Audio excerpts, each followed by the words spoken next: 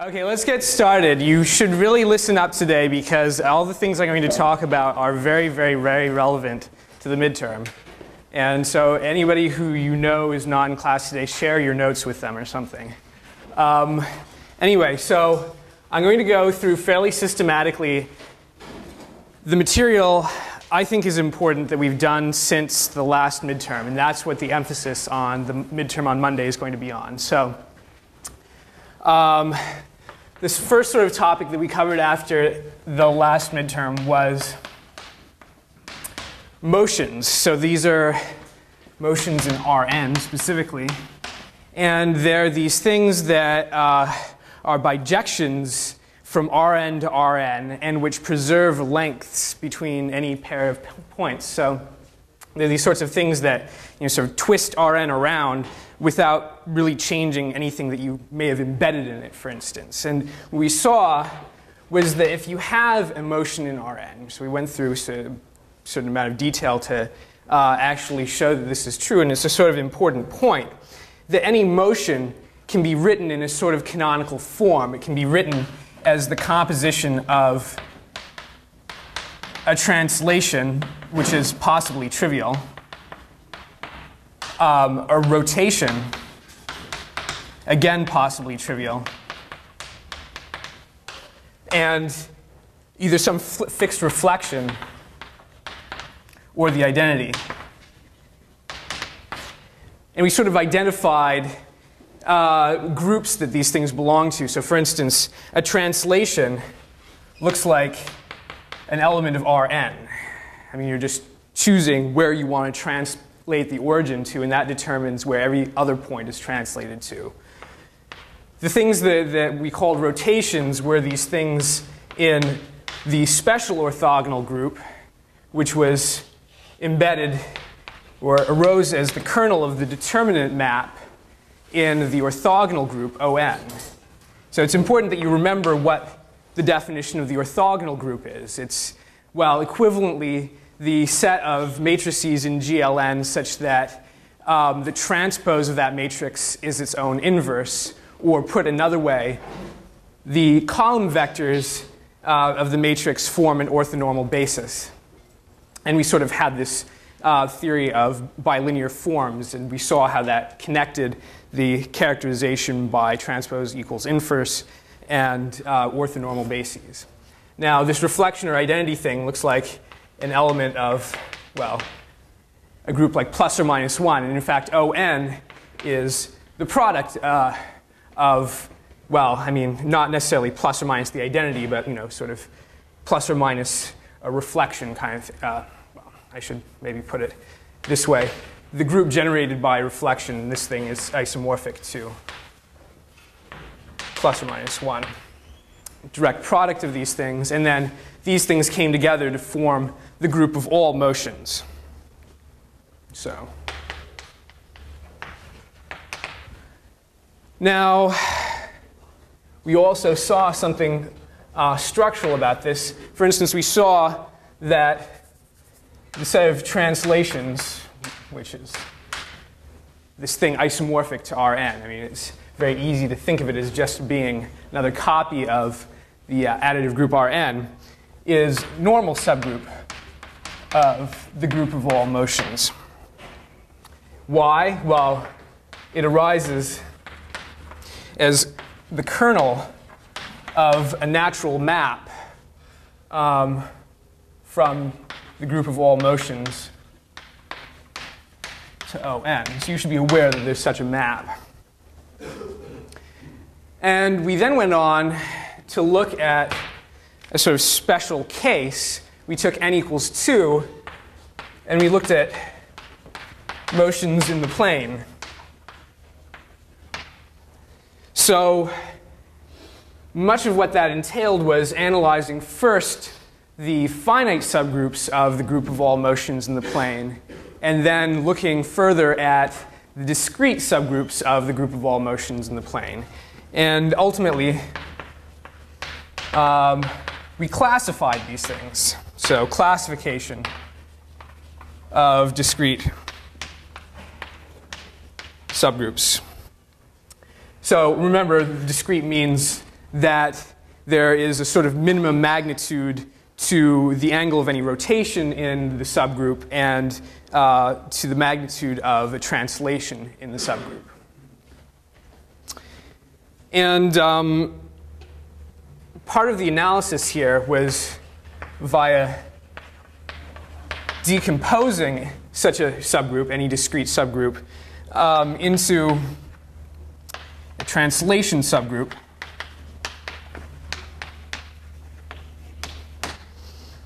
which was a lattice.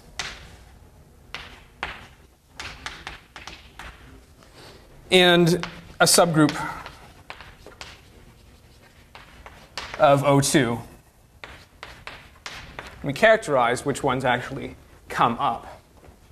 So, reminder, please do pick up your graded assignments from the uh, CA mailboxes. Uh, there were a whole lot of assignments graded this past week, and so um, the mailboxes are overflowing, I think. Um, let's see.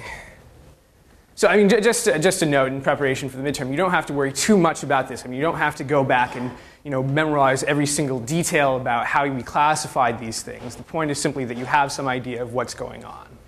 Um, I mean, it would take well over an hour to just you know, go through proofs of you know, the entire classification. Uh, so you can expect that that's not going to be a question on the midterm. But I mean, you should be aware of the sort of basic structure of what's going on here.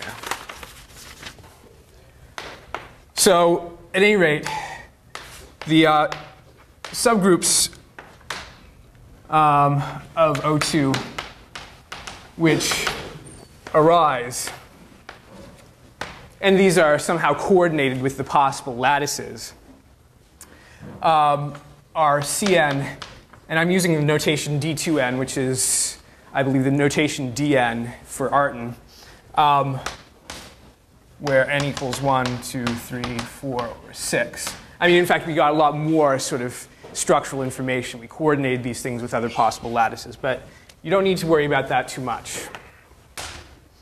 Okay, so then what we did is we said, well, a lot of the sorts of things that we discovered when studying motions can be really abstracted, and making this sort of abstraction will be very, very useful to us because we can you know, find all sorts of interesting sets for groups to operate on. For instance, the group itself. So we started looking at sort of notions of abstract symmetry or group actions. So we had a notion of what it means, completely, axiom, uh, completely axiomatized what it means for a group to act on a set. So this sort of curvy arrow thing, I just mean acts on. It's just a convenient notation. So it's an action. And you should know, of course, the definition of an action. Um, I mean, it, in fact, really doesn't say very much. It mostly just says that um, we have some sort of uh, composition G cross S to S, and the identity element acts on S, just any element of S, just sending it to itself. And uh, we demanded a sort of associativity for composition. So if we act on S by GG prime, that should be the same as G acting on G prime acting on S. Which isn't, you know, sort of an a priori true thing if you just have a random function from G cross S to S. And this was really, really very necessary. I mean, it's, it's what allows you to sort of um, get all the structural results about group actions.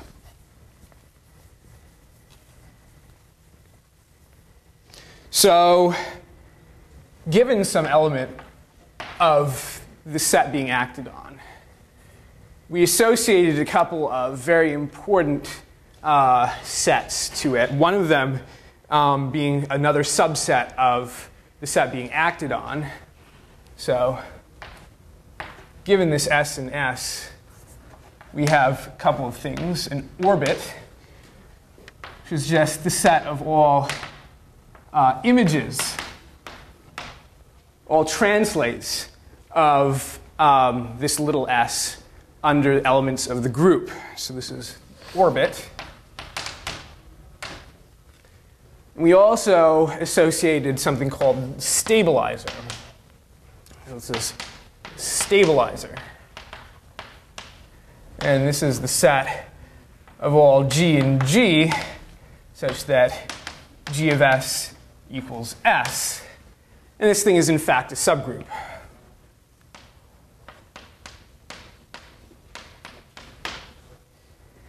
And these things are very, very closely related. What we showed is, in fact, there's a sort of neat way of characterizing all group actions in terms of this language. Um, so here's, here's the proposition.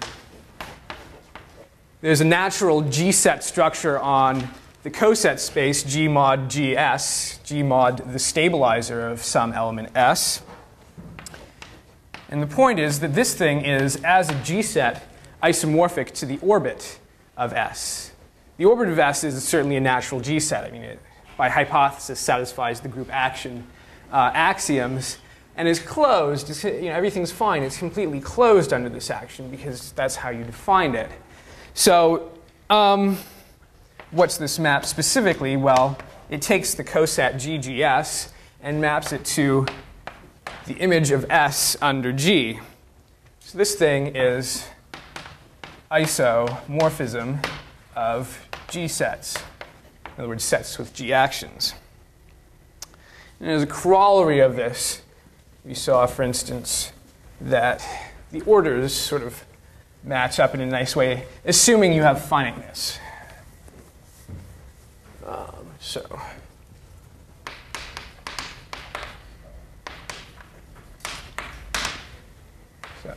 assuming finiteness of G and uh, S, well, in fact, it suffices to assume finiteness of G because then the orbit is necessarily finite.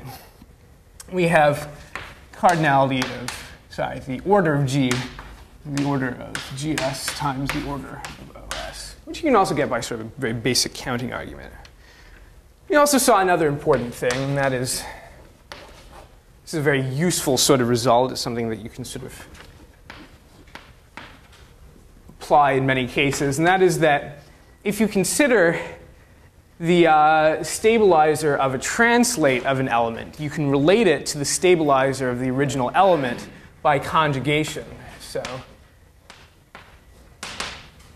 this is the conjugate subgroup, conjugated by whenever you translated the element of the uh, G set by. And you know, you should know some basic, I mean, this isn't extremely important, but I mean, it's surely important that you review some examples of applications of these formulas.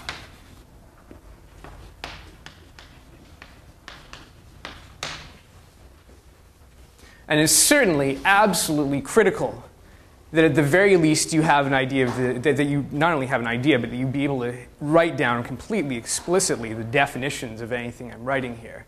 If you don't know the definition of a word here, you better learn it because there are going to be plenty of definitions that you have to give on the exam. Yeah? So G set is a set equipped with a group action. So this thing is a G set because it has an action of G on it. So set equipped with G action, G set are synonyms.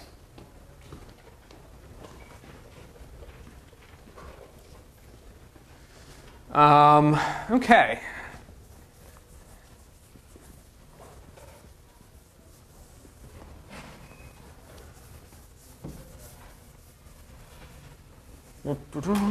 Okay. Yeah, so now let's fix a group. Group G and a set S. So I'm not assuming that a priori I have some sort of action of G on this set S. Um, but I want to sort of classify the actions, the possible ways that I can make this set S into a G set. In other words, the possible ways I can have an action of G on S. So the theorem is there is a one-to-one -one correspondence between actions of G on S. And homomorphisms, these are specifically group homomorphisms from G to the symmetric group on S. So remember, the symmetric group on S is a set of bijections from S to S. And it forms a group. We saw that ages ago. So these things are in correspondence. So if we have, for instance, some fixed action, so I suppose we take some action of G on S, then this thing gets mapped to the homomorphism, which takes an element of G, and then we have to give some element of the symmetric group on S. And what you show is that the map S goes to GS is indeed a bijection from big S to big S.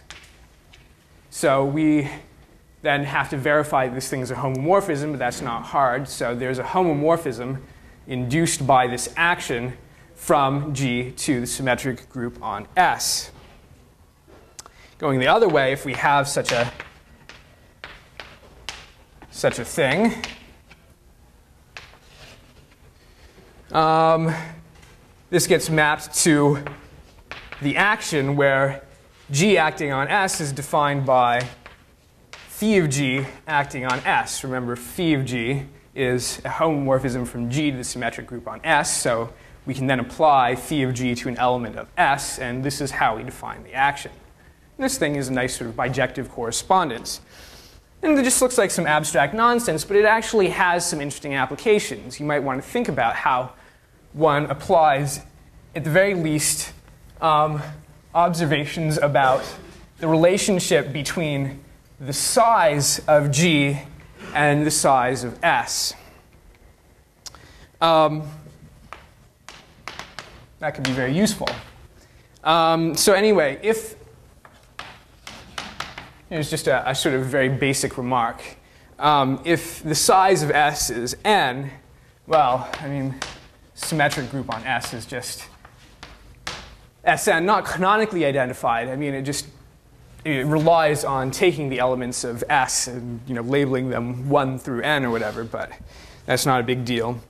So the point is, at least, that if we have some action of G on S, um, then we have a homomorphism from G to Sn.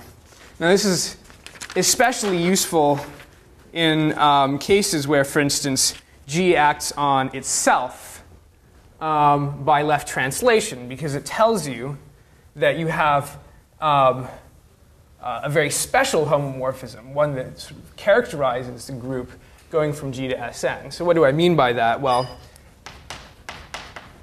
in particular, we can act on G itself by left translation.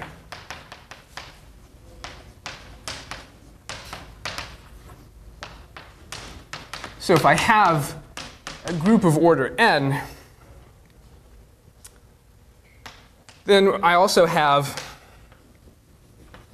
group homomorphism G to Sn, and we know more about it. Um, it's in fact injective. And that just follows because, I call this thing phi, phi of g. Under this correspondence, remember, is just this thing that's telling you what the action is. But we know that the element g is in fact determined by left translation on the group itself. In fact, um, it's determined by acting just on one of those elements, the identity element. So this map is injective.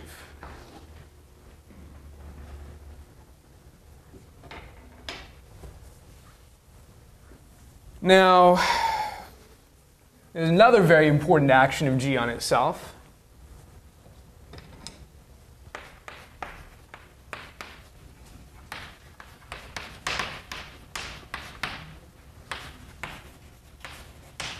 So which one am I thinking of?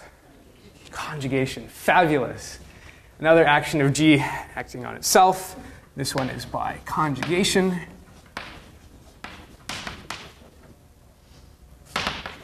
In other words, G applied to some element X of the group is conjugate. And this is the source of a very useful formula, something called the class equation. So if I look at the order of G, then I know that I can break it up into the sum of the orders of the orbits for this action. I mean, that's just sort of in general true. This is the sum over all of the orbit. Uh, it's in um, G for this action. But what do we call an orbit in G for the action by conjugation? A conjugacy class.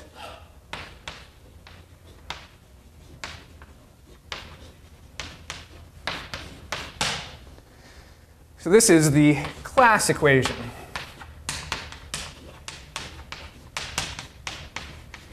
You should certainly know this equation and be able to apply it. In particular, you should be aware of a very, very critical fact about the class equation, and that is that conjugacy classes of order 1 if I have some conjugacy class of order 1, uh, then we know something about the element of that conjugacy class. So what do we know? It's in the center.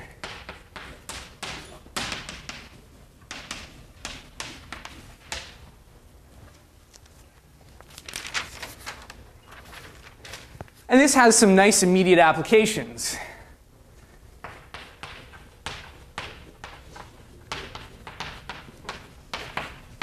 For instance, to p groups. You should know what a p group is. Um, so, um, for instance, we know from the class equation that a p group has center uh, of order greater than 1. And we know other things like that every group of order p squared is abelian. So those are useful sort of facts. Um, then we moved on to another sort of thing from this, which is actually fairly closely related.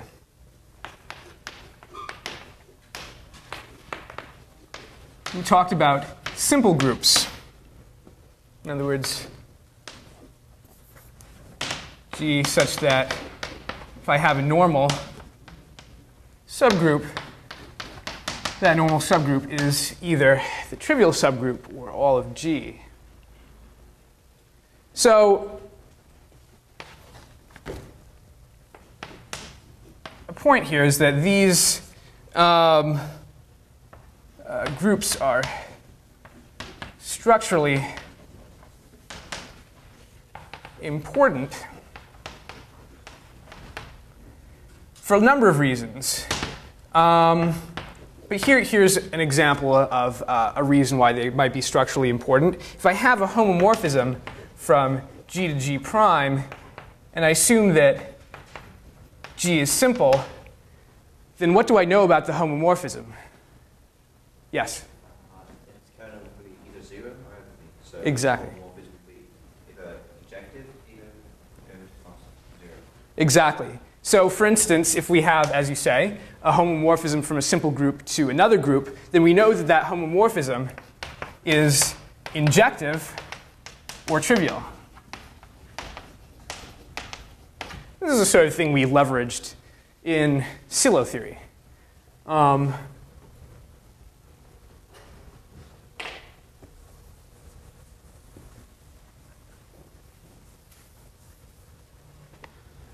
so something more that we can say about normal subgroups and conjugacy.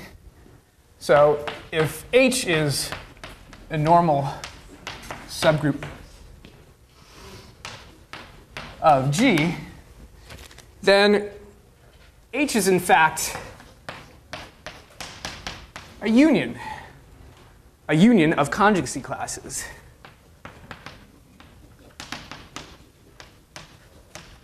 And this sort of thing we found useful because it allowed us to show in some cases where we could explicitly write out the class equation um, that a group was not simple, for instance.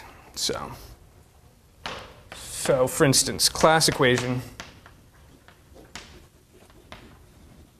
plus the fact that subgroup of a group must uh, have divisible orders. Um, these facts together can sometimes be used to show a group is simple. We saw an example of this. This isn't really very important, but it's, it's just it's good that you be aware of this. Should you ever need to show that a particular group is simple or not. Okay, let's move on. So, next thing we talked about was Sylow theory. Um, so remember, Sylow theorem said this is definitely a good sort of thing to, to have very carefully memorized. Being able to state in your sleep the Sylow theorems is definitely a useful thing. So um, if I have a group of order um, p to the e times m, where this factor, this power of p is not trivial. So in other words, the exponent is greater than or equal to 1. Moreover, this m is relatively prime to p. In other words, p does not divide m. Uh, so under those hypotheses, then we know a lot about the uh, p subgroups. I mean, in particular, you should know the definition of a Sylow P subgroup, of course. You can't really know the theorem unless you know what a Sylow P subgroup is. So the number of Sylow P subgroups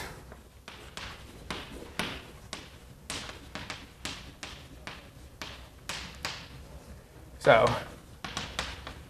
subgroups of order p to the e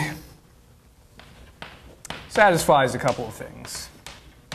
First of all, number of them is congruent to 1 mod p. Secondly, number of them divides m. We saw lots of great examples of how we could just use this fact. This fact alone gets you a lot of information. But a lot more can be said.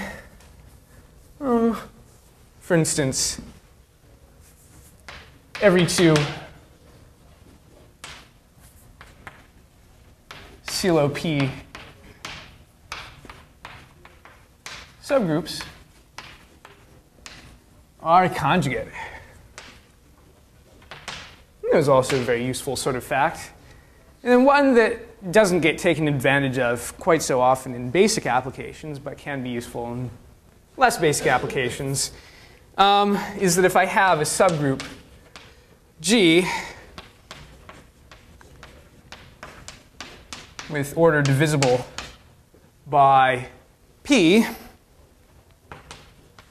then there is a Sylow P subgroup of G such that um, its intersection with this subgroup um, is Sylow P subgroup of K. Just one remark. I mean, recall that, for instance, this is the result. I mean, we can draw from this first part things like that the uh, number of P subgroups must be 1, and then we can draw from this that um, in that case, the P subgroup is normal. So that's a definitely a useful thing to remember. Um,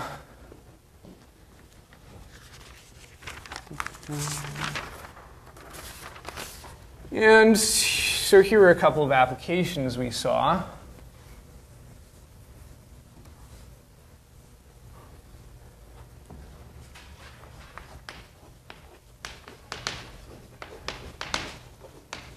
Couple of applications. So one of the first applications we saw was to groups of order PQ, where P less than Q are primes. You should definitely know this. Um, so we know, for instance, that the number of Sylow Q subgroups is 1. We also took a brief look at groups of order 12. That seems like an awful lot to put on a midterm. Okay.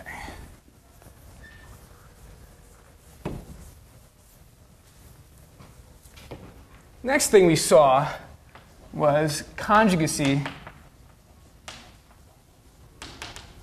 in Sn.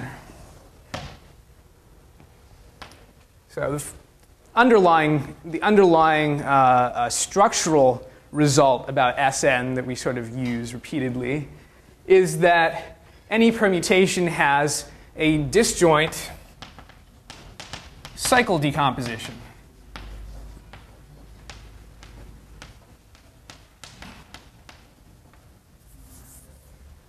Um, if I have some permutation on n letters, I can rewrite it as a product, say A11, A1, L1, dot, dot, dot, uh, AK1, AK, LK, where these are disjoint cycles.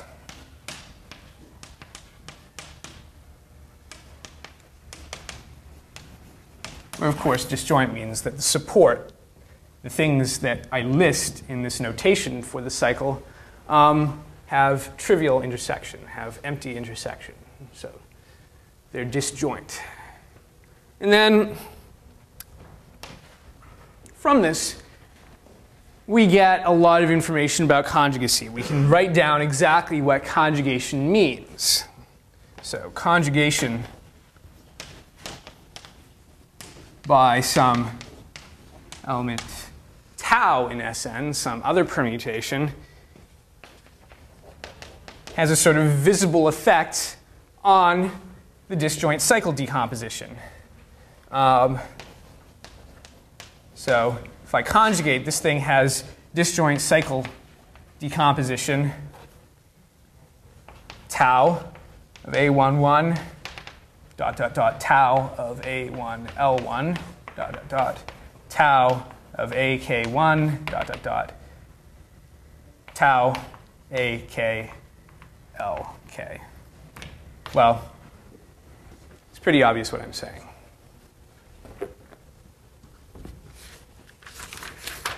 And we moved on to ring theory.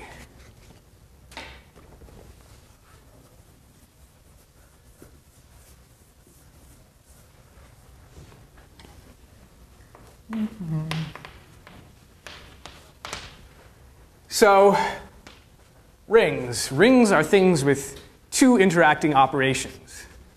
So, they have this plus operation, which is an abelian group.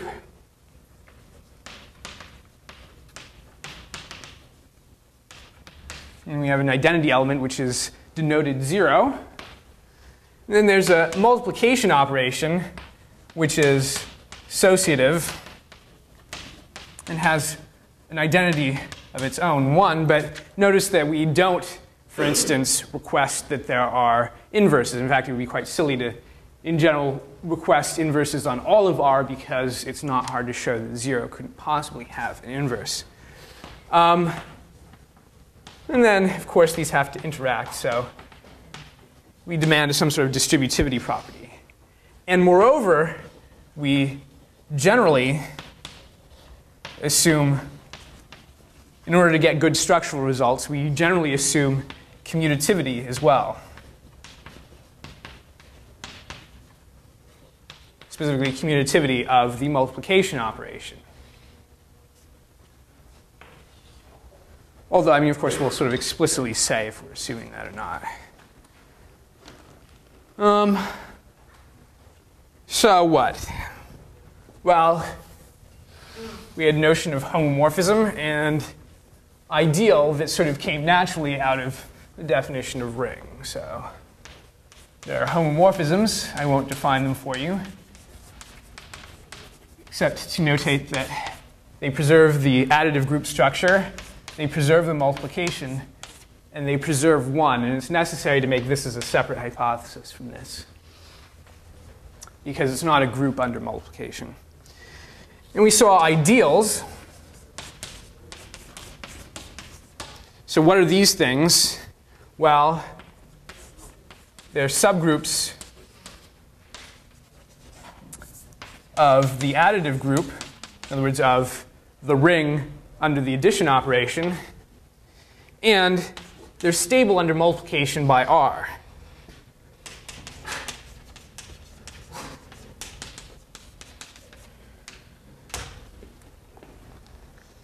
And these things were analogs of normal subgroups. However, on an exam, it would not be sufficient, for instance, to say for the definition of an ideal, it's the analog for rings of a normal subgroup. You want to actually explicitly give the definition. Um, but here are some useful facts about them.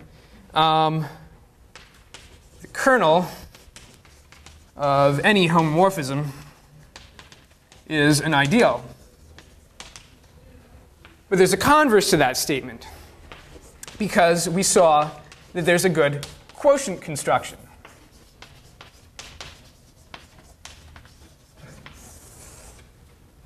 And that quotient construction implies, in particular, that um,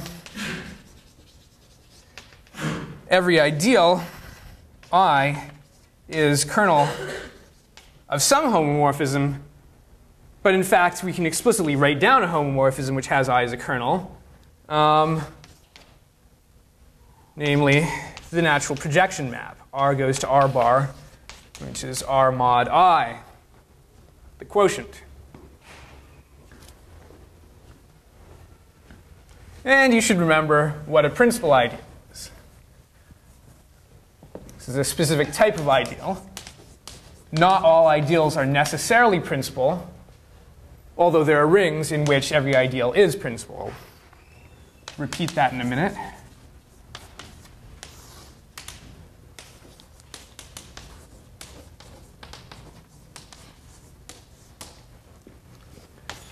So here's a, an important proposition. If I have a commutative ring, then that ring is a field if and only if what? Sorry? If and only if this ring has exactly two ideals. Exactly two ideals.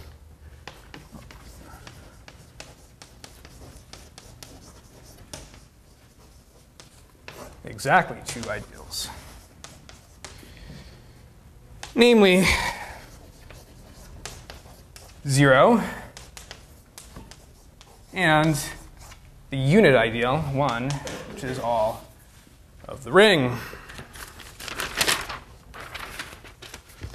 So I hinted at a question a second ago, namely, when are ideals always principal? For what rings are ideals always principal?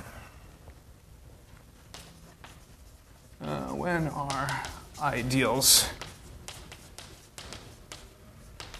principal. And the main tool there was the Euclidean algorithm. So, Euclidean algorithm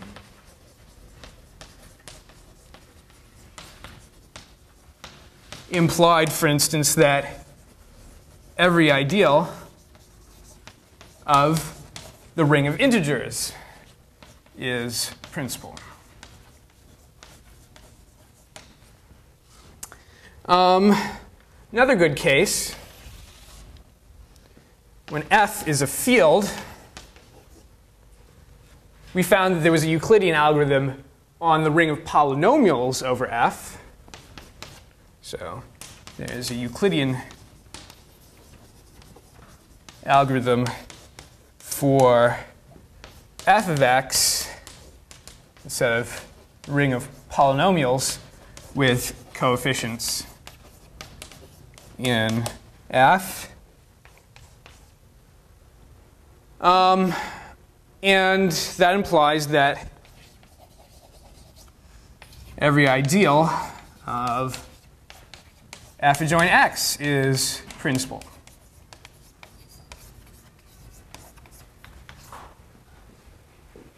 By the same sort of argument as for the ring of integers, sort of basic Euclidean algorithm thing. Now, we've talked a good deal about quotients in class, and we also saw something important about the relationship between the set of ideals of a quotient ring and the ideals of the original ring. So, ideals of quotients. So, suppose I have some ideal i, fix this thing. Fix i subset of r ideal in a commutative ring. So the structural result we found was that the ideals of the quotient of r by i correspond to the ideals j of r containing i.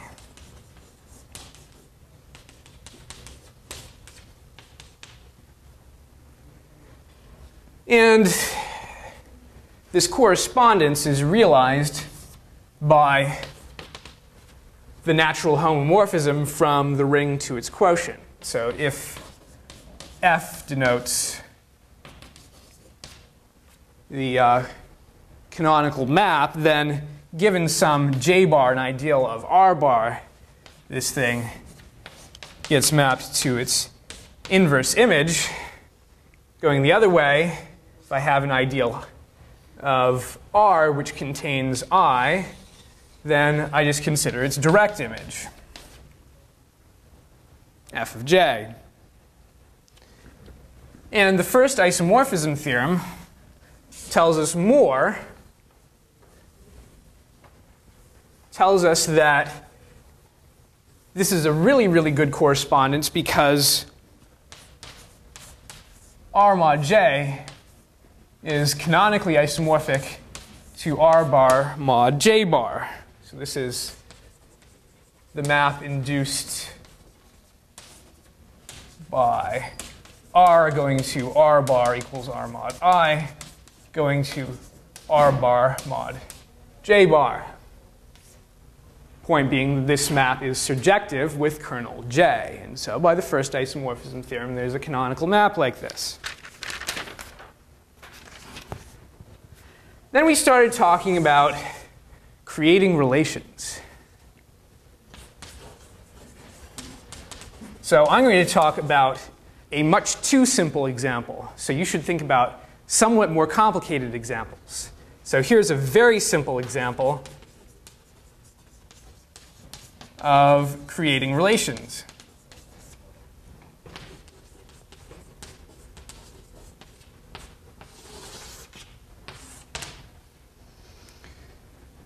So here's the proposition that if I have some field f, and I consider the ring of polynomials with coefficients in f, and I make the relation that x is equal to 0, then what do you think this ring looks like? It just looks like f again. Exactly. Um, so the heuristic reason for this is that we've added the relation make x equal to 0. I mean, remember, that's what quotienting does. When you quotient by something, you're saying take all the things in the ideal or the normal subgroup or whatever that you're quotienting by and make them all 0. So x is made equal to 0. But you should be able to prove this. It's insufficient on an exam to say, well, heuristically, this is making x equal to 0. Therefore, it all works out. Because, as you discovered on the last homework assignment, this is actually a very subtle sort of thing. If I take f of x and I mod out by x squared minus 1, for instance, I don't get f, even though it looks like I'm just adding the relation x equals 1. It doesn't work that way always. In that case, as you saw in the homework, f of x mod x squared minus 1 is actually isomorphic to f cross f.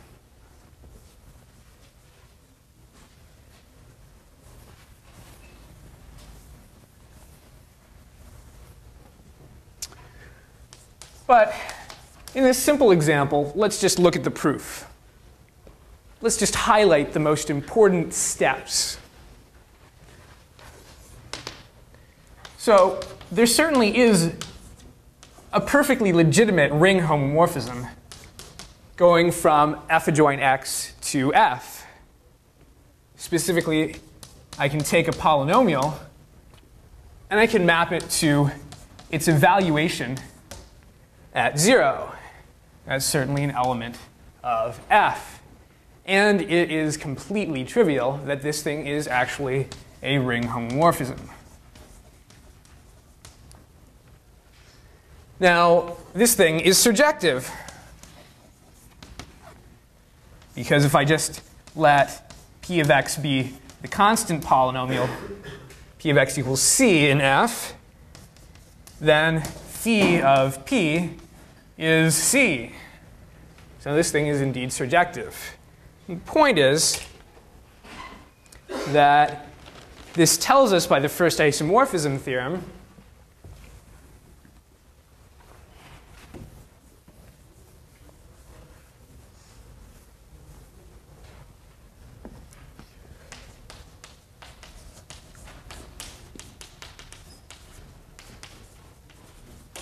So by the first isomorphism theorem, there is a natural isomorphism between f of x modulo the kernel of this map phi and f.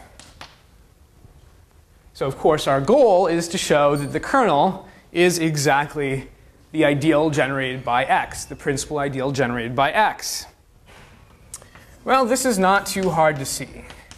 So so the kernel is the set of things which map to 0. Well, thing maps to 0 if and only if 0 is a root of p of x. But we saw over fields that a polynomial has a particular root if and only if x minus that root actually divides the polynomial. So this is true if and only if p of x equals x times q of x, where q is some other polynomial. This is some other polynomial in f of x. Why is this? What's a way of showing the fact I just stated that root um, implies a divisibility like this? Yeah. Exactly. It follows immediately from the Euclidean algorithm because I know that I can write p equals xq plus some remainder. But by evaluating all these things at 0, I get that the remainder must be uh, 0 at 0. But the remainder, by the Euclidean algorithm, has degree less than this, less than the degree of what you're dividing by. So it must be constant. So if a constant evaluated at 0 is 0, then it must be 0. But this generalizes. This works if I have any root. So, you know, I know that if p of c equals 0, then p of x as a polynomial equals x minus c times q of x. This is general fact. But this statement is exactly the statement that p of x is in the principal ideal generated by x. So indeed, the kernel is exactly equal to the principal ideal generated by x. That's a good place to stop. Good luck.